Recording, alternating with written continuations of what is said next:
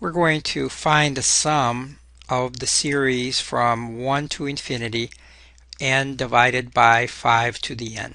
Now if we expand this, this is 1 divided by 5 plus 2 divided by 5 squared plus 3 divided by 5 cubed plus 4 divided by 5 to the fourth and so on. Note this is not a geometric series so we can't use any of the formulas we learned about when we study geometric series. But we can use geometric series to find the sum of this series and here's how it's done. First we're going to express this series as a sum of a bunch of other series. Each one of them is geometric. Here's how it works. First series is 1 fifth plus 1 over 5 squared plus 1 over 5 cubed plus 1 over 5 to the fourth and so on. So we can write this as the summation from n equals uh, 0 to infinity 1 over 5 times 1 over 5 to the n. Let's briefly check that this is in fact a series. When n is 0 we have the 1 fifth. When n is 1, 1 fifth times 1 fifth that's 1 over 5 squared. When n is 2 we have 1 fifth times 1 over 5 squared, that's 1 over 5 cubed, and so on.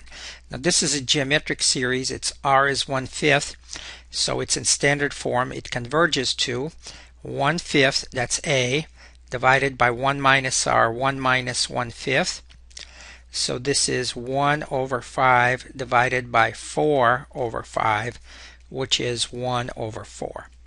The next series we're going to look at starts right here at 1 over 5 squared plus 1 over 5 cubed plus 1 over 5 to the fourth and so on.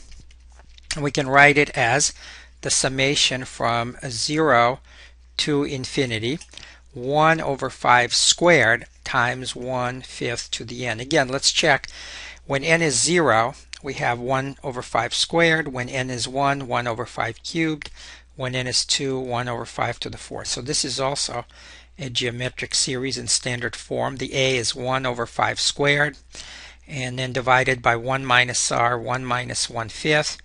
So this is 1 over 5 squared divided by 4 over 5. So this is the 1 fourth times 1 fifth. The next series is starts at 1 over 5 to the third plus 1 over 5 to the fourth and so on. And this is also a geometric series in standard form. This will be summation from 0 to infinity 1 over 5 cubed times 1 fifth to the n. It's uh, in standard form so it converges to 1 over 5 cubed divided by 1 minus 1 fifth. So this is 1 uh, over 5 cubed divided by 4 over 5. So this is 1 over 4 times 1 fifth squared. And now the next series will start at 1 over 5 to the 4 and so on. So we can write it as the summation from 0 to infinity. 1 over 5 to the fourth power, 1 over 5 to the n. And by the same pattern, it converges to 1 over 4 times 1 fifth cubed.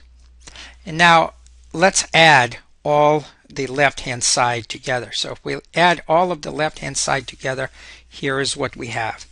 We have 1 fifth and then 1 fifth squared is added twice, so this is 2 over 5 squared and 1 over 5 to the third is added three times so this is 3 over 5 cubed plus 4 over 5 to the fourth and so on and that's exactly the series we were looking at which is the summation from 1 to infinity n divided by 5 to the n. But since we added all the stuff on the left, that's equal to all the stuff on the right. And all the stuff on the right is the sum of these geometric series. So that is 1 fourth plus 1 fourth times 1 fifth plus 1 fourth times 1 fifth squared and so on. And of course that's a geometric series that we can write as the summation from n equals 0 to infinity 1 over 4 times 1 fifth to the n. So in other words we just showed that this non-geometric series, that is the series, the summation from 1 to infinity, n divided by 5 to the n, will converge to the, to the same value that a geometric series from 0 to infinity, 1 over 4 times 1 fifth to the n will converge to. Well, we know what this will converge to. a is 1 fourth divided by 1 minus 1 fifth. So this is 1 over 4 divided by 4 over 5. And the answer is 5 over 16. So we use the idea of geometric series to find what a non-geometric series converges to. To summarize, the series from 1 to infinity, n divided by 5 to the n, which is 1 over 5 plus 2 over 5 squared plus 3 over 5 cubed plus 4 over 5 to the fourth and so on converges to 5 16.